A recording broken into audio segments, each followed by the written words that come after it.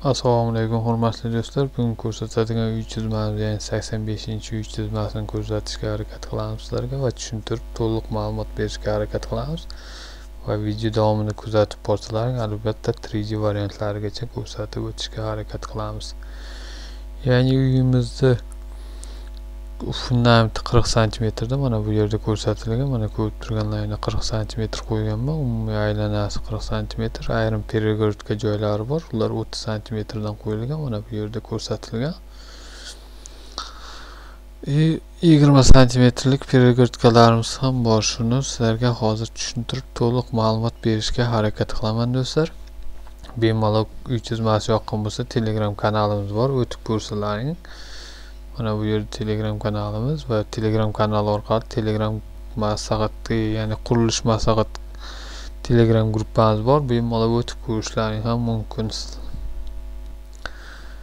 Sizlarga ko'rsatadigan joyimiz mana bunday uyimizni o'lchami o'n uchga qirq и o'nga to'qson santimetrdagi ixchamgina kichkinagina chiroyligina uy chizmasini ko'rsatishga harakat qilamiz. Yana ya'ni kirganimizda ko'rib turganlaringdek mana bunday kirish bismillohi rohmanir rohim deb kiramiz kirganimizda mana bu yerda ya'ni oyoq kiyim yechkani ikkiga bir yarim metr o'lchamda joy qoldirganmiz e, kirib borganimizda ya'ni o'ng tomonda bitta xona bor. To'rtga uch besh yuz sakson o'lchamdagi bitta katta xonamiz joylashgan. Ya'ni zal qilsa bo'ladi. И chap tomonda esa to'rtga uch yuz qirq o'lchamdagi yana bitta xona bor oshxona sifatida foydalansangiz ham bo'ladi. Koridorimiz ya'ni mana bu devordan bu devorgacha to'rt oltmish eni ikki metr.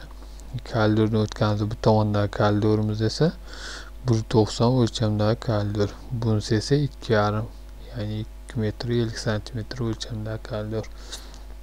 O'ng tomonda kirganimizda besh yuz yetmishga to'rt metr yana bitta xona joylashgan katta xona. И u xonadan chiqqanimizda ko'rib turganlaringdek ikkita xona joylashgan. Ikkalasi ham xuddi bir xil o'lchamdagi ya'ni to'rt metrga uch metr qirq santimetr o'lchamdagi ikkita xona bir xil o'lchamda joylashgan. O'rtada перегородкamiz o'ttiz santimetrdan и bu yoqqa kirganimizda ikki yarimga ikki yarim o'lchamdagi ya'ni hammom joylashgan kattaroq hammom joylashgan sanuzel desa ichida hammom hojatxona hammasini joylashgan. Hop video davomida men sizlarga eshik romlarni qanday joylashuvini ham ko'rsataman. Hozir esa fundamentimiz 3d variantini ko'rsatib o'tishga harakat qilaman. Mana bunday 3d varianti bo'yiga necha ko'tarishlaring o'zlaringga bog'liq. Bu qirq ko'tarsalaring ham bo'ladi. Mana shunday qilib o'lchamdagi ya'ni 3d varianti fundamentimizda qo'yilgani. Obyektlarga eshik romlarini ham joylashuvini albatta ko'rsatib o'tishga harakat qilaman. Mana shunday eshik romlari joylashgan ko'rib turganlaringdek mana bu yerda ikkita oyna uchta mana bu yerda ikkita oyna yana bitta и mana xonalarda bittadan oyna.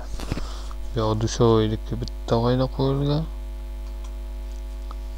И mana bu yerda ko'rib turganlaringdek oshxona eshiklari mana kirishga oyoq yechib kiyim bu yerga arka qo'yganman xohlasangiz eshik qo'ysangiz ham bo'ladi. Eshik qo'ysangiz ya'ni qishda sovuq ichkari kirmaydi.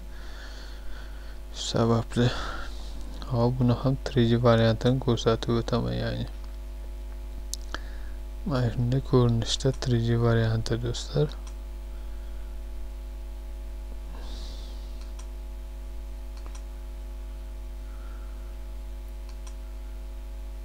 mana